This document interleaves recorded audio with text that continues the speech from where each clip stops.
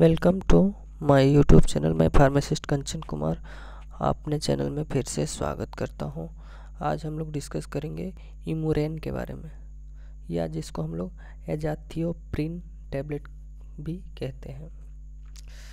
सबसे, इस वीडियो के माध्यम से हम लोग जानेंगे इसके प्रमुख यूज़, साइड इफ़ेक्ट, प्रिकॉशन ये सब हम लोग इसके बारे में जानेंगे। एजाथ्रियोप्रिन एक क्या है? इम्यूनो सप्रेशन ड्रग है, जिसका इस्तेमाल हम लोग इम्यून सिस्टम को,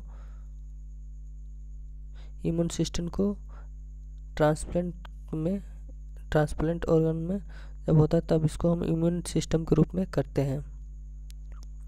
It is also a modify heart. इसको हम लोग मॉडिफाई हार्ट है, जो कि डिज़ीज़ रिम्यूनेटेड अर्थ्रिटीज या फेल ड्रग थेरेपी को ठीक करता है। ये एक autoimmune and collagen disease systemic lupus erythematosus myasthenia gravis को ट्रीट करने में भी इसका इस्तेमाल करते हैं।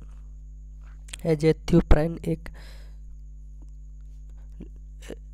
जिथ्रोपाइन administrate only under the close supervision of because the risk of serious adverse effect इसको डॉक्टर के सुपरविजन में ही या डॉक्टर के देखरेख में ही आप इसका इस्तेमाल करें, ये हेवी साइड इफ़ेक्ट क्रिएट कर सकता है।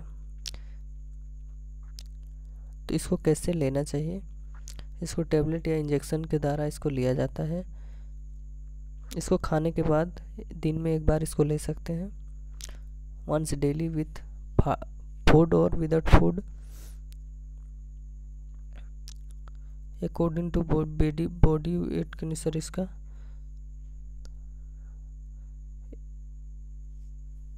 इसका एम में लिया जाता है। बॉडी वेट के हिसाब से इसका एमजी में लिया जाता है। ऑनसेट ऑफ़ इफ़ेक्ट दो से चार वीक का रहता है। ड्यूरेशन काफ़ी समय तक। डाइट एडवाइस कुछ भी नहीं है। स्टोरेज रूम टेम्परेचर में रखना है, बच्चों से दूरी बना के रखना है और लाइट से दूर बना के रखना है।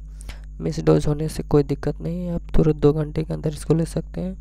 अगर आपको ऐसा कोई भी साइड इफ़ेक्ट दिखाई दे रहा है, मेडिसिन लेने के बाद तो आप तुरंत डॉक्टर से संपर्क करके आप इसका सही पूर्वक सेवन करते हैं स्पेशल प्रिकॉशन क्या है?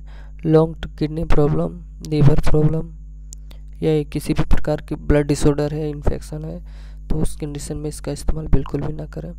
प्रेग्नेंट वोमेन भी आप इस, इसको ले सकते हैं। बस डॉक्टर के देख रेख में इसको लें। ब्रेस्ट फीडिंग वोमेन भी इसको ले सकते हैं। बस डॉक्टर से सलाह लेकर ही लें।